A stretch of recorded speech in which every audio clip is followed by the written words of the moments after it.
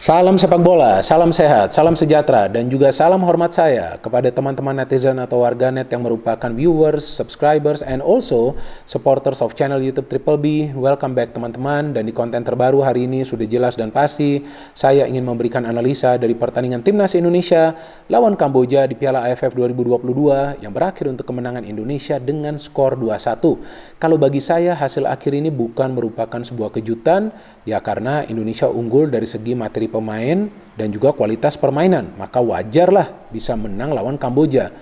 Cuma saya terkejut dengan skor akhirnya, karena sebelumnya feeling saya Indonesia akan bisa menang dengan minimal selisih 2 gol. Dan jika teman-teman nonton pertandingan yang baru saja berakhir, maka kalian juga bisa perhatikan betapa sulitnya bagi para pemain kita untuk mengkonversikan peluang-peluang yang mereka dapat. Oke lah, pada akhirnya Indonesia bisa menang dan mendapatkan tiga poin. Itu yang paling penting kan, mendapatkan tiga poin. Tapi hal-hal seperti yang tadi kita lihat tidak boleh terulang di pertandingan-pertandingan selanjutnya. Apalagi nanti ketika lawan Thailand dan juga lawan Filipina. Karena ada sekitar tujuh peluang emas yang diciptakan Indonesia yang gagal dikonversikan oleh para pemain. Tujuh peluang emas loh teman-teman. Beberapa dari dalam kotak penalti pertahanan tim lawan. Jadi walaupun secara permainan kita sudah mendominasi jalannya pertandingan, para pemain kita bisa membuka pertahanan dari Kamboja yang memang bermain rapat. Ini gak gampang loh. Tapi para pemain kita berhasil membuka pertahanan mereka. Sangat disayangkan conversion rate-nya tidak sebaik dari dominasi permainan yang ditunjukkan oleh para pemain Indonesia. Padahal kan jika bisa unggul dengan selisih gol minimal 2 sebelum menuju ke menit ke-80 kan akan lebih tenang para pemain kita. Tapi karena keunggulan ini masih tipis, masih 2-1, maka kita bisa melihat para pemain kita tuh berjuang habis-habisan hingga injury time. Karena para pemain Kamboja ini juga tidak mau nyerah. Seperti yang saya jelaskan di konten match preview untuk pertandingan ini. Bahwa Kamboja yang sekarang bukanlah Kamboja yang lima tahun, apalagi 10 tahun lalu. Ini Kamboja yang berbeda, artinya mereka juga bisa menyulitkan Indonesia. Dan ternyata mereka bisa mencetak satu gol. Tapi mereka gak bisa banyak menciptakan peluang. Kalau menurut catatan saya, hanya dua peluang emas yang bisa mereka ciptakan. Itu pun hanya di babak pertama. Artinya apa? Secara permainan kita sudah bagus, tapi kan end produknya itu loh. End produknya itu artinya goals. Kalau gak bisa mencetak banyak gol, apalagi ketika nanti sulit melebihi jumlah gol dari tim lawan, ya mana mungkin bisa menang kan? Kemungkinan seri masih bisa. Jadi efisiensi dan juga efektivitas itu sangat penting di sebuah pertandingan sepak bola, apalagi ketika sudah bermain di level internasional. Ini kan level internasional. AFF kan kawasan ASEAN nih, negara-negara ASEAN yang main. Kamboja memang nggak berkutik, bisa apa mereka? Mau kasih umpan terobosan di blok, mau kasih umpan lambung masih bisa dibaca, mau nahan bola lama di tengah masih bisa direbut. Tapi mereka ini juga pintar, mereka coba untuk memancing para pemain Indonesia untuk keluar dari posisi. Nah ini sangat berbahaya teman-teman jika kembali terjadi di pertandingan-pertandingan selanjutnya karena beberapa kali juga saya melihat para pemain kita tuh out of position ketika ada counter yang coba disusun oleh para pemain Kamboja. Tapi bagusnya ada center back yang bisa mengcover ruang yang terbuka tersebut. Dan saya melihat memang peran dari Jordi Amat nih sangat krusial di lini pertahanan. Memang dia mendapatkan satu kartu kuning karena melakukan pelanggaran, tapi selain itu dia melakukan banyak intercept, blocking, bahkan ketika perebutan bola dia bisa mengambil bola dengan benar. Maklok juga sama, saya melihat cara dia melakukan pressing, cara dia merebut bola juga efektif, bahkan Spaso juga sama seperti itu. Jadi memang pemain-pemain naturalisasi dan juga pemain keturunan ini memang punya kekuatan dalam duel-duel ya. Teman-teman dan mereka memang bisa lebih banyak memenangi duel-duel tersebut. Dan para pemain kita lainnya memang punya kecepatan yang luar biasa. Egi, Witan kemudian ada Asnawi, ada Arhan juga. Kemudian di depan ketika Spaso main speednya juga lumayan bagus. Marcelino juga transisi yang dia bangun bagus. Ricky Kambuaya juga bagus. Dan Farudin Arianto juga bisa mengkoordinasi pertahanan dengan begitu rapi bersama juga dengan Jordi Amat karena kan yang dipakai formasinya oleh Shin Taeyong ini adalah skema empat pemain bertahan teman-teman. 4-2-3-1 jadi memang memakai satu penyerang tunggal tapi penyerang tunggal itu juga harus terlibat dalam proses membangun serangan. Kemudian ada Egi dan Witan yang akan masuk secara tiba-tiba ke ruang pertahanan dari tim lawan. Tapi seperti yang saya katakan tadi di awal Peluang kita tuh sangat banyak. Egi sudah one on one gagal. Oke lah Egi bisa mencetak gol. Bagus Egi mencetak gol. Tapi ada peluang sudah one on one itu.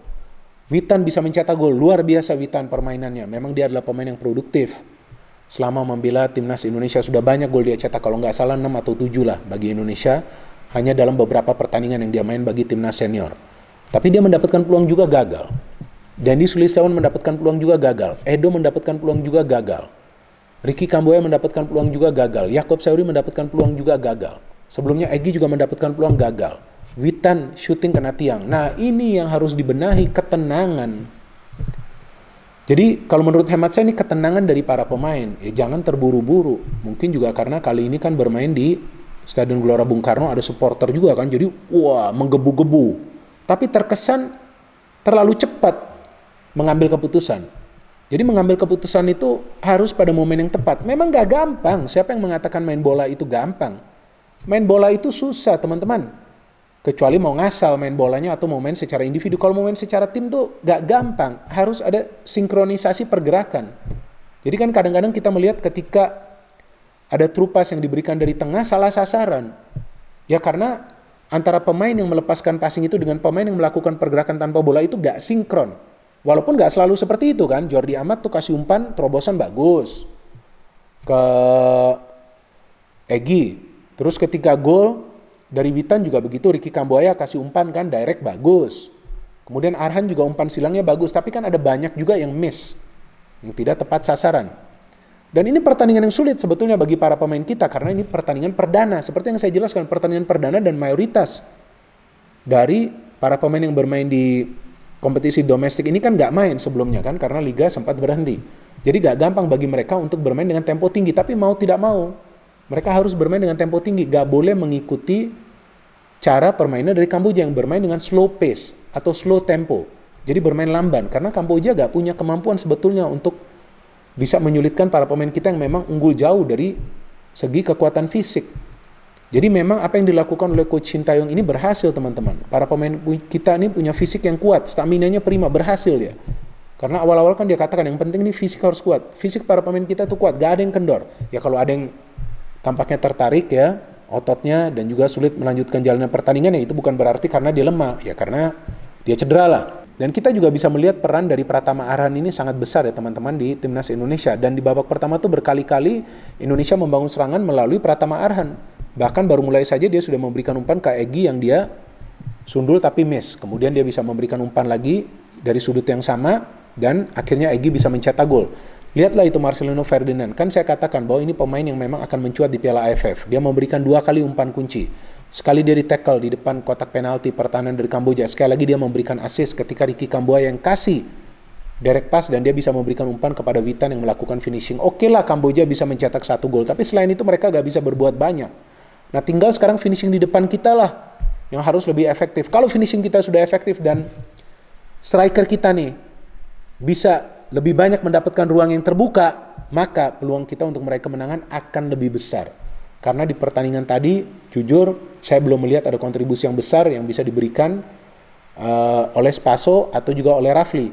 Memang dari segi kekuatan fisik, ini dua pemain ini fisiknya kuat, seperti yang tadi saya katakan. Tapi dari segi kontribusi, saya melihat mereka sangat sulit untuk mendapatkan ruang terbuka sehingga mereka harus sering turun ke second line. Nah, ini akan kesulitan bagi mereka jika mereka terlalu sering berada di second line dan para pemain dari sektor sayap ini dikunci pergerakannya oleh para pemain tim lawan. Jadi bagi striker selain juga dia ikut membantu serangan, dia harus cepat uh, bergerak secara progresif, bergerak ke depan secara positif untuk mencari ruang yang terbuka agar dia bisa mendapatkan umpan dari rekannya supaya dia bisa mendapatkan peluang dan juga mencetak gol. Dan Coach Sintayong juga coba untuk menjaga kebugaran dari para pemain dengan melakukan begitu banyak pergantian pemain di babak kedua. Itu sangat bagus kan? Karena dua pemain yang masuk tuh Yakob dan juga Dendi bermain cukup baik ya teman-teman ya. Saya melihat nih Yakob Sauri beberapa kali bisa intercept di pertahanan. Dia mendapatkan satu peluang. Progresif pasnya juga uh, bagus. Dendi juga begitu punya kecepatan dan menyulitkan para pemain dari Kamboja. Jadi ini kemenangan yang penting teman-teman bagi Indonesia bisa menang dengan uh, skor 2-1 dan juga mendapatkan 3 poin tapi ke depannya perlu lebih efektif untuk menyelesaikan peluang-peluang yang mereka dapat kalau enggak bisa menjadi bumerang ketika para pemain tim lawan nanti mendapatkan momentum dan menyerang balik ke pertahanan Indonesia dan justru nanti mereka yang bisa mencetak gol. Tapi seperti yang saya selalu katakan, saya optimis dengan skuad kali ini kok. Ini kan pertandingan pertama, jadi ya mungkin tampaknya belum begitu padu ya sinergi antar lininya juga masih biasa-biasa saja. Ya tapi mungkin di pertandingan-pertandingan selanjutnya akan jauh lebih baik. Dan seperti yang saya jelaskan sebelumnya bahwa beruntung bagi Indonesia mendapatkan jadwal yang menguntungkan. Karena di dua pertandingan awal bukanlah lawan tim yang kuat. Jadi lawan Kamboja uh, memang banyak peluang nggak bisa dikonversikan. Nanti lawan Brunei mungkin juga akan ada sedikit kesulitan tapi semoga lawan Thailand nanti sudah full 100% padu. Kita tunggu teman-teman perjuangan lanjutan dari para pemain timnas Indonesia seperti yang biasa saya selalu menghimbau kepada teman-teman kita support terus timnas Indonesia. No hate, no politics, only football. Salam sepak bola.